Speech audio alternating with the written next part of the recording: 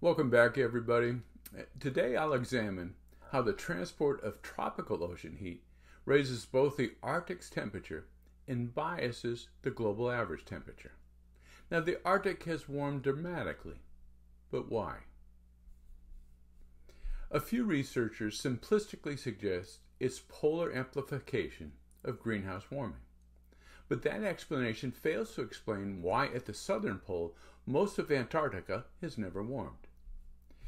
This video explains how extensive transport of tropical ocean heat uniquely warms the Arctic. It also demonstrates why it's an abuse of statistics to average extreme warming temperatures in the Arctic with temperatures elsewhere, such as the cooling in North America. Averaging two temperatures caused by vastly different dynamics is meaningless and useless for understanding climate change. It's as useless as averaging apples and oranges just because they're both fruits. So, here in part one, I'll examine how transport of tropical ocean water affects the Arctic sea ice. Part two examines how the natural Arctic oscillation affects the presence or absence of thick sea ice, and how sea ice controls the release of stored heat and affects Arctic temperatures.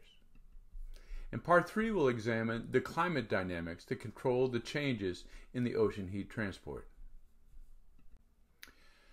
First, we need an overview of how the world's ocean temperatures vary. The oceans are warmest in the tropics, seen in red, and due to the sun's most intense heating, surface temperatures are averaging 20 degrees centigrade or 68 degrees Fahrenheit. Ocean temperatures decrease towards the higher latitudes as the Earth's curve and the axis tilt decrease solar heating. Between 50 and 60 degrees south latitude, we see temperatures are much lower, averaging between 5 and 0 degrees centigrade. And due to the Antarctic circumpolar current, the warmer subtropical waters, averaging about 10 plus degrees centigrade, seen in green, can't intrude further south, preventing any warming of Antarctica as discussed in a previous video, the Antarctic refrigeration effect. In contrast, between 50 and 60 degrees north, warm subtropical waters intrude deep into the Arctic.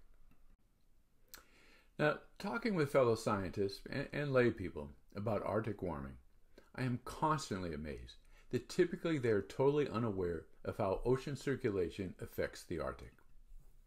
Here I'll focus on the northern hemisphere's circular pattern of ocean circulation, creating what's called subtropical gyres.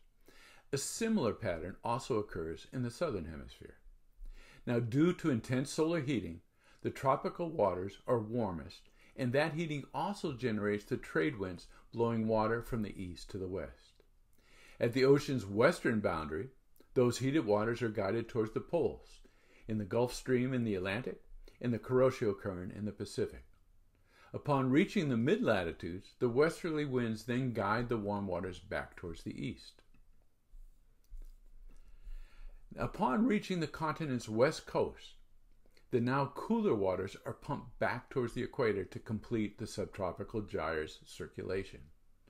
Of importance to humanity, the currents moving back towards the equator also create the four upwelling regions that support humanity's richest fisheries. It also, uh, we also observe again in the southern hemisphere that the gyre's warm tropical waters don't penetrate past the Antarctic circumpolar uh, current, keeping Antarctica cooler than average. In contrast, there's a slight leakage of warm water from the Pacific through the Bering Strait and into the Arctic. And more importantly, it's the large volume of warm water transported via the Gulf Stream into the North Atlantic that enters the Arctic and melting sea ice and warming the region. To understand how the transport of ocean heat biases temperature statistics, there's a simple experiment you can do at home, and it is easily understood by children. All you need is an infrared temperature gun that costs less than 20 bucks and a pot of heated water. I used a temperature gun to show students in environmental studies classes how surface temperatures dramatically change between open sunlit areas and shaded areas, or between different vegetation types, or moist versus dry ground.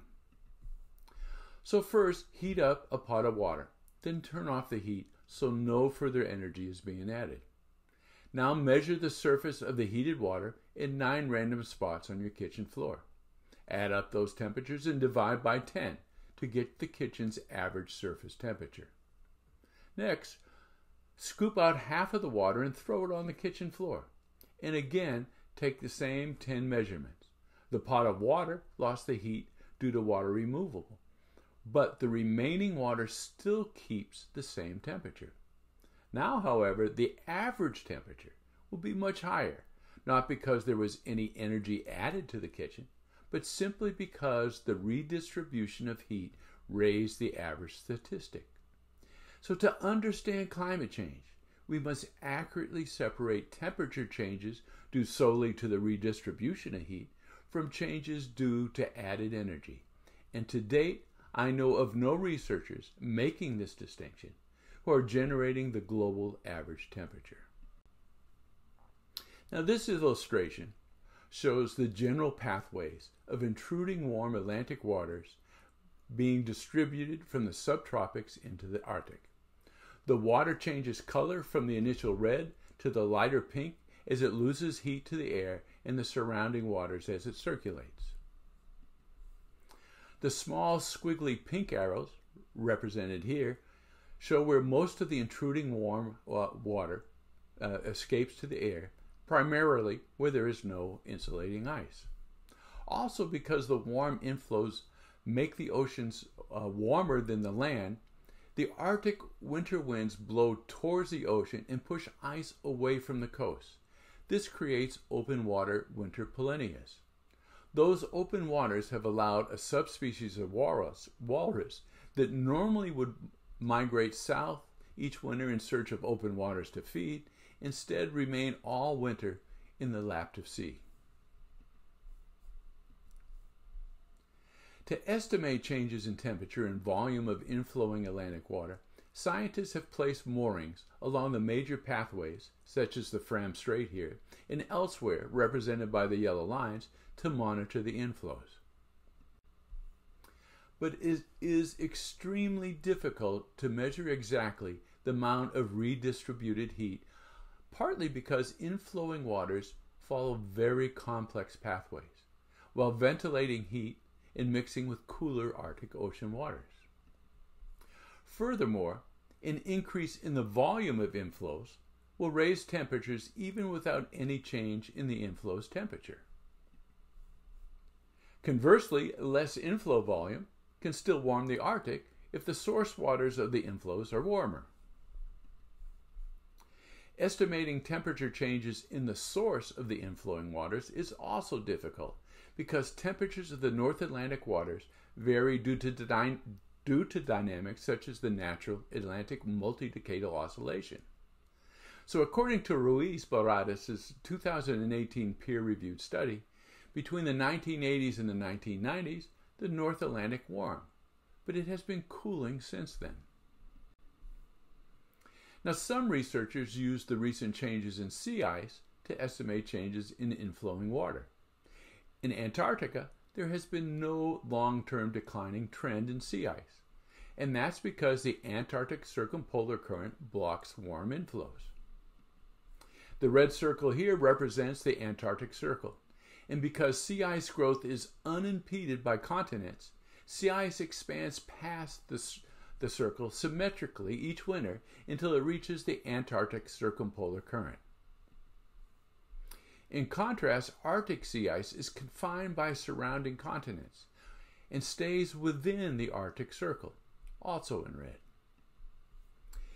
Yet, as in the Antarctica, winter temperatures are cold enough to form sea ice outside the circles, as seen in the Hudson Bay that freezes over completely each winter.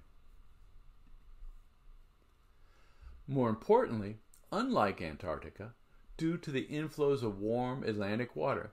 Sea ice is melted deep inside the Arctic Circle, keeping ocean water ice free during the winter over most of the Barents Sea.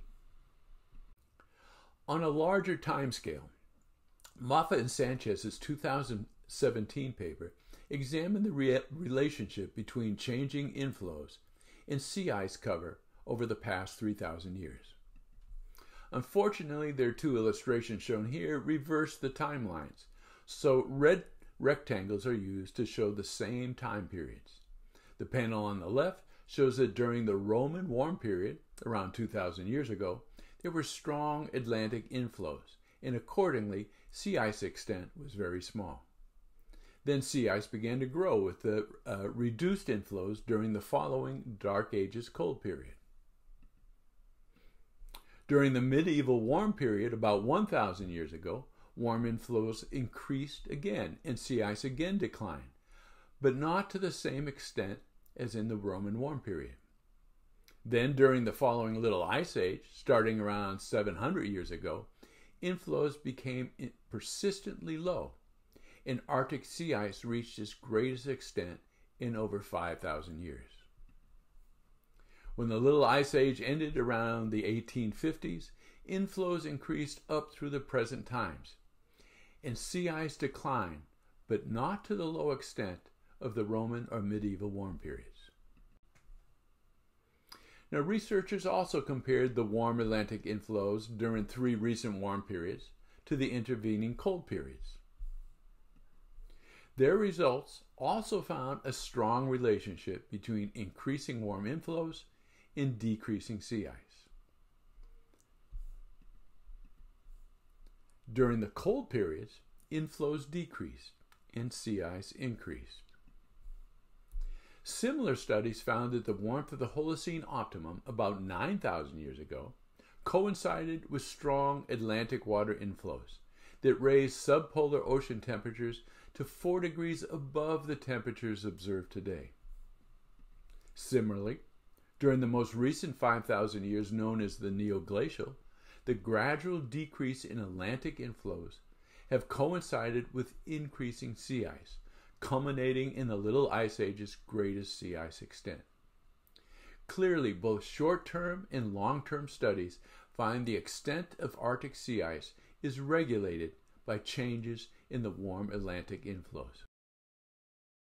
Now, up next, part two will examine how shifting winds, due to the natural Arctic oscillation, controls where sea ice is present or absent, how much thick ice, multi year ice, survives, and thus how sea ice contributes to the control of Arctic temperatures. And until then, embrace the renowned scientist Thomas Huxley's advice that skepticism is the highest of duties and blind faith the one unpardonable sin. And if you appreciate the science clearly presented here, science rarely presented by the mainstream media, then please give it a like, give it a share, or copy the video's URL and share it with friends through the email. Subscribe to my video channel, or read my book, Landscapes and Cycles An Environmentalist Journey to Climate Skepticism. Thank you.